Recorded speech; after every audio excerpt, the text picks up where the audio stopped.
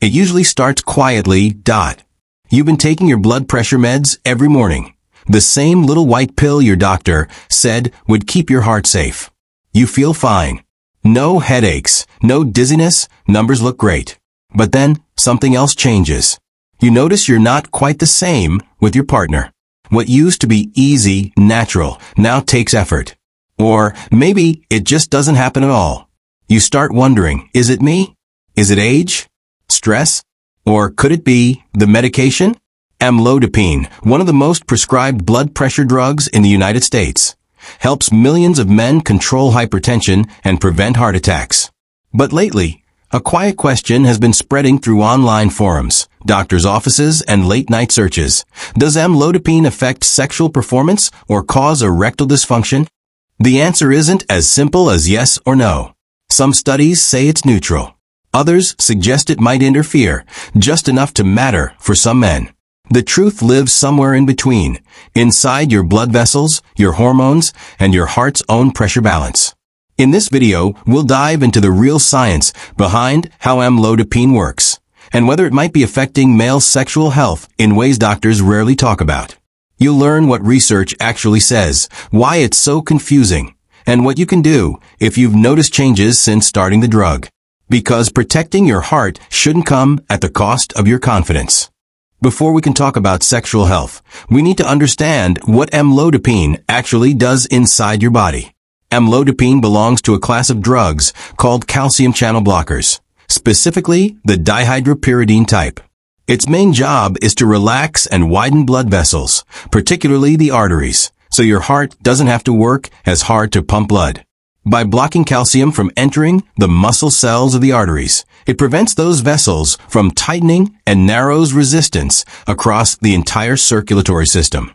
That's why doctors love it. It's effective, predictable, and compared to older blood pressure drugs like beta blockers or diuretics, it usually causes fewer sexual side effects. But here's where it gets tricky. Erections rely on the very same system, blood flow. To achieve one, arteries leading into the penis need to dilate rapidly, filling spongy tissue with blood and trapping it there. Anything that changes that balance, too little blood flow, too much vasodilation, or lowered systemic pressure, can affect performance. Most studies suggest amlodipine doesn't directly damage this mechanism. In fact, because it improves overall circulation, some theorize it could even help in theory. But in real life, things aren't so simple. If your blood pressure drops too far, or if you already have vascular problems from diabetes, smoking, or atherosclerosis, the balance can tip the other way, and the result can feel like a slow, subtle change in sexual function. Not immediate, not catastrophic, but noticeable. So, while amlodipine's main mission is protecting your heart and arteries, it operates in the same system that supports your sexual health. And when one part of that system shifts, the other can quietly follow. Next, we will find the connection between blood pressure and sexual performance. Here's a question that surprises many men.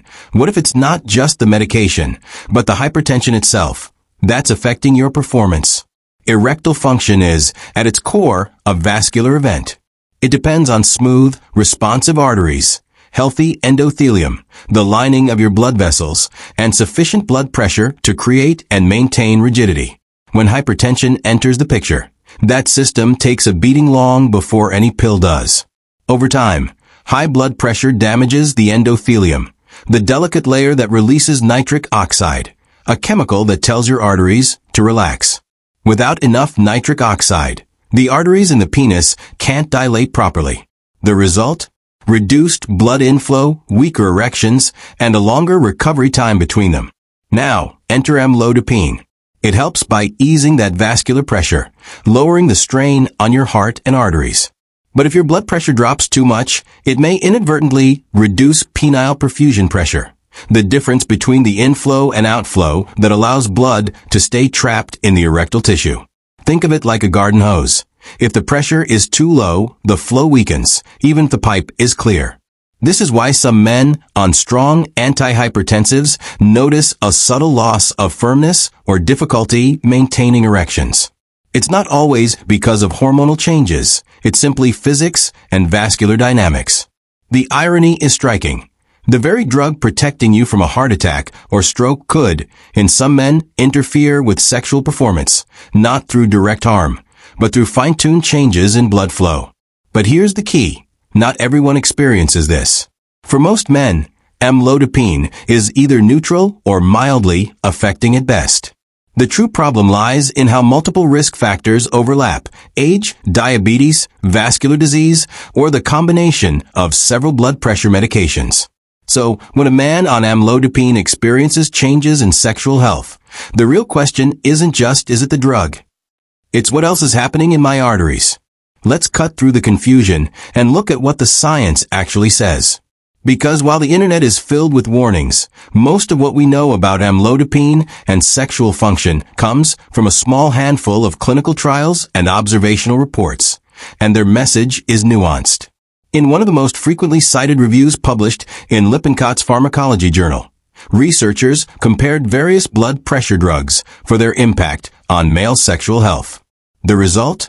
Calcium channel blockers, like amlodipine, were classified as neutral to mildly negative. In other words, they weren't saints, but they weren't the villains either. Beta blockers and diuretics carried a much higher risk of erectile dysfunction, while amlodipine sat comfortably in the middle. Another large-scale pharmacovigilance study, which analyzed thousands of reports from real-world patients, did find that amlodipine showed a signal for erectile dysfunction, meaning the reports occurred more frequently than expected. But even that signal didn't prove causation. Many of those men also had diabetes, heart disease, or were taking multiple antihypertensive drugs, all of which independently increased the risk of ED. A small clinical study went further measuring hormone levels.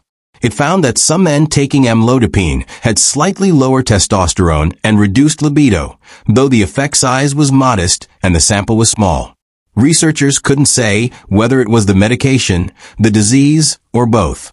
Animal studies add another layer. When scientists compared losartan, an ARB, and amlodipine in rats with induced vascular stress, they noticed that losartan preserved penile structure, while amlodipine did not. But this doesn't necessarily mean amlodipine causes damage. Rather, it doesn't seem to protect the erectile tissue the way some ARBs might. Put simply, the clinical picture looks like this. Asterisk amlodipine isn't the main culprit behind sexual dysfunction. Asterisk, but in some men, especially older adults or those with multiple risk factors, it may contribute to reduced performance indirectly. The good news is that these changes are often reversible. Many patients report improvement after switching drug classes or adjusting the dose under medical supervision. The takeaway? Context matters. It's not just about the pill, it's about the body it's working within.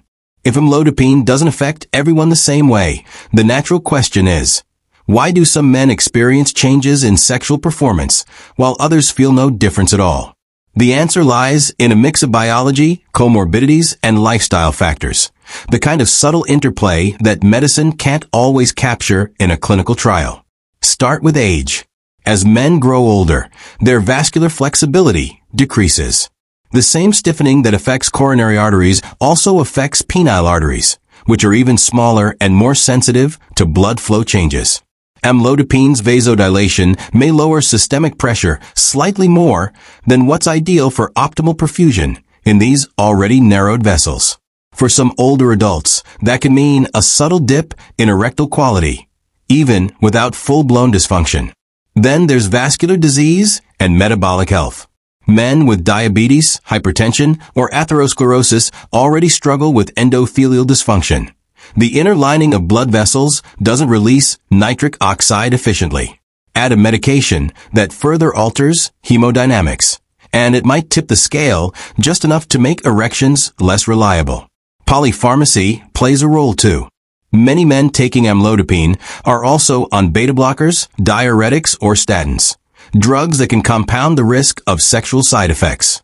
So even if amlodipine itself is neutral, the combined effect of multiple medications may create the perception that it's the problem. There's also dose dependency. Higher doses, 10 milligrams daily for instance, exert stronger vasodilatory effects and may more easily lower perfusion pressure. Men on the lower 2.5 to 5 milligrams range tend to report fewer issues, suggesting that sensitivity to blood pressure changes can vary from person to person. And finally, psychological factors matter more than most realize. When men expect a medication to affect their sexual function, that anxiety alone can contribute to performance changes. Cardiologists often call this the nocebo effect, the mirror image of placebo, and it's surprisingly powerful. So while amlodipine may be one piece of the puzzle, it's rarely the whole picture.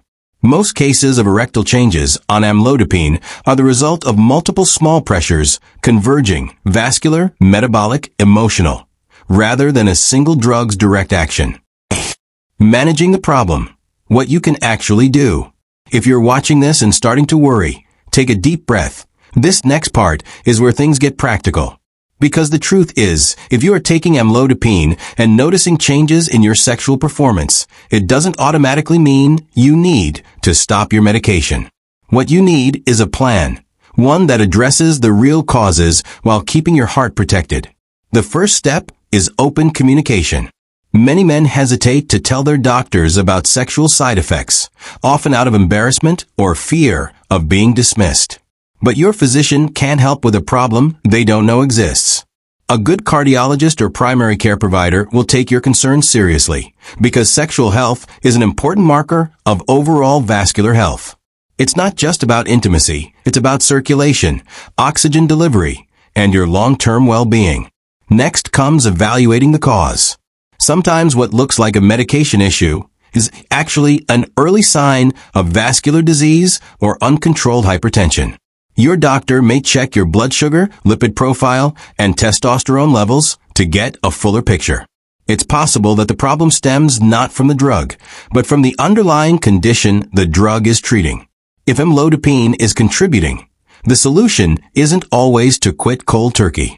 Your doctor might adjust the dose. Even a small reduction can make a difference in how you feel.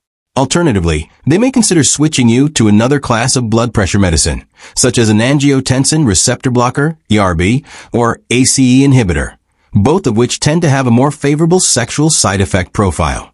There are also safe add-on options.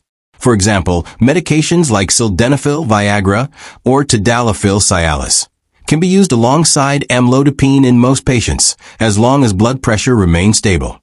These PDE5 inhibitors work by enhancing nitric oxide signaling and improving blood flow to the penile tissue, essentially compensating for any hemodynamic imbalance.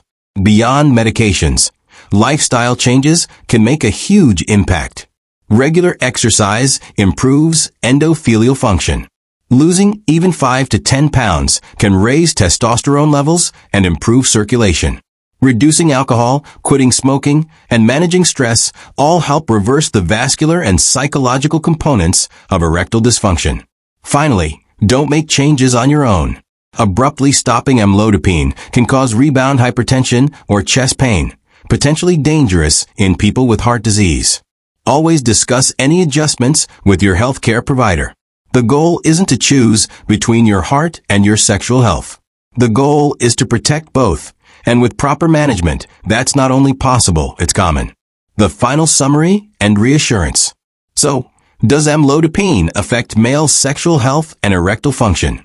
The most accurate answer based on current medical evidence is possibly, but mildly, and not for everyone. Let's recap what science actually says. Amlodipine, as a calcium channel blocker, works mainly on your blood vessels. It relaxes and widens them to lower blood pressure. For most men, that effect doesn't directly harm sexual performance.